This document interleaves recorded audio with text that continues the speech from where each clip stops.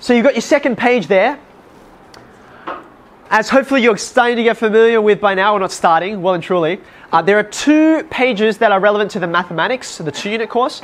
And then the last page is the extension one page. So I just want to point this out for you right now because, oh, look, all of this stuff that you now actually know about. Now, just have a look under integrals, right? We know what integrals are. We've been using this language for a while now. How many of those integrals have we actually dealt with in class? Underneath that direct heading, it's just the top one. That's it. We haven't touched the integration or differentiation of exponential functions, log functions, all of this is trig, okay? But then after that, oh, you should recognize this, right? We've done this this week. So what are these things? The giveaway are those squiggly equal signs, right? So we can use the trapezoidal rule or Simpson's rule to approximate any integral we like. Not a trick question, even though it's straightforward. What does the trapezoidal rule use? What kind of shape does it use to approximate an area? What does it use? It uses a trapezium, right? Now, more tricky question, less trivial. What shape does Simpson's rule use? It uses a parabola, which is why you get so much more accuracy because, of course, parabolas can be curved, right?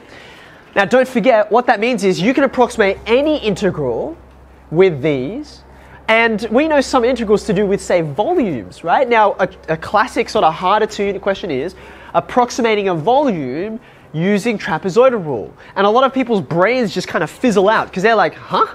It's a, this is a volume. How do, you, how do you use one of these, right? Well, it will do any integral, including one that comes from a volume, okay?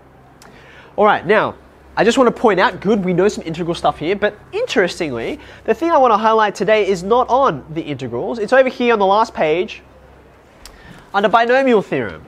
Okay, now binomial theorem, we looked at this pretty early last year. I'd like you with me to write down, you see there's three things in this inequality, three things that are all equal to each other. Um, what's the difference between the second and the third thing? Have a look at them closely. What's the difference? Yeah, the powers have been switched around, which is their way of saying, you know how this is going to be from Pascal's triangle, right? Well, Pascal's triangle, just like a binomial expansion, is symmetrical, okay? So it doesn't matter if you start with the a's as bigger numbers and the b's as smaller numbers, or other way around, you'll get the same expansion either way, okay? The, for the purposes of what we want to do now, I just want you to write the first two. Can you write this part of the equation? And then we're going to talk about it.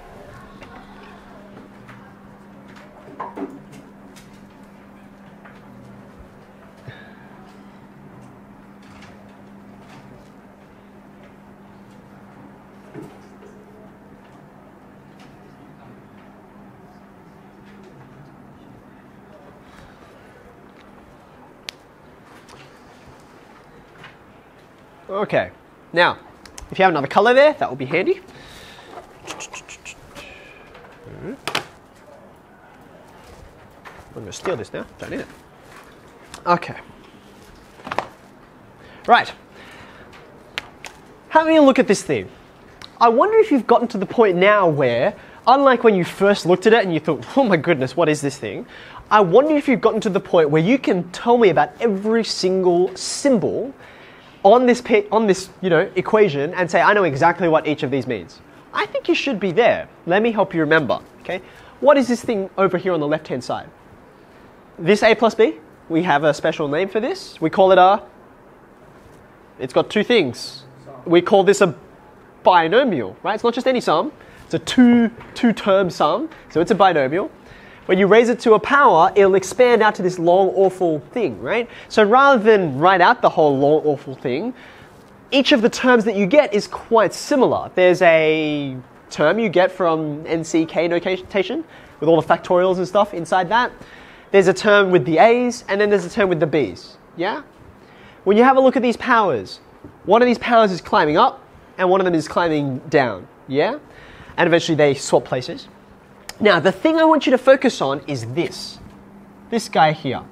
This itself also has its own name. What's it called? This is called sigma notation, right? Named after the Greek letter that it's in. Okay. Now, when sigma notation was invented, okay, people thought really carefully about what should go into it because it's kind of doesn't really look like anything else that we've ever used, right? Now, particularly, I want to ask two questions of sigma notation. Firstly, Why is that there? K equals. It's not a rhetorical question. And put yourself in the position of the people who are inventing some notation to try and write this thing out, but not write out the whole long thing, because mathematicians famously lazy. Why do we put k equals there? Hmm. Now we have seen like limit notation go underneath things like this, like limit as n approaches infinity, or as x equals zero, or something like that. But this is something quite different, isn't it? What might be lost if I didn't have the k equals there? What might be lost? Hmm. I always laugh when people are like, oh, maths is all about numbers. There are no numbers on the board, right? You're like, oh, wow. Wait, look, there it is. There's one number, okay? Now, you've got to work out where that number is going to go. You've got to work out where 0 goes, and 1, and 2, and 3, and then all the way up to n, okay? But without anything here, where is it going to go? Like, you've got so many pronumerals here to choose from, there's not a clear explanation of where it goes. And so we say k equals, or r equals, or x equals, in order to tell you, well, when you change the number, where is that going to go into? It goes into here, here, and here, and not any of the other pronumerals. Does that make sense? Okay, now I'm going to ask the question in reverse. We've got k equals down the bottom. But there's no k equals up the top. Not a rhetorical question. Why not? Like, if we bothered to put it down the bottom, why haven't we put it at the top also? Because they're both about the same thing. Say it again, Paul? Kind of redundant, right? Redundant means like it's not necessary. You don't get any extra information by saying k equals 0 down here and k equals n up there. Because if you started putting numbers into k, you're just going to keep on doing it into k. It doesn't change, right? So that's why this notation is trying to be as bare as possible and put down the, the minimum amount of information required. Okay? Now, the reason why I'm highlighting that is because when you have a look at something like this,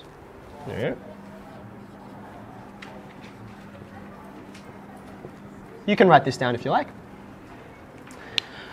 The integral notation is clearly related to sigma notation, right? Clearly related. Uh, in fact, they probably would have used the sigma if it hadn't been taken already, because what they're doing is they're summing, right? They're adding things up. Now, it's clearly related because number one, it's the same letter, just a different language, alphabet.